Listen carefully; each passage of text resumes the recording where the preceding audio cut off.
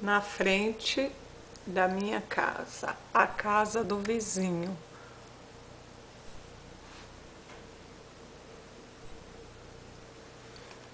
Então a janela deu uma atrapalhadinha aqui.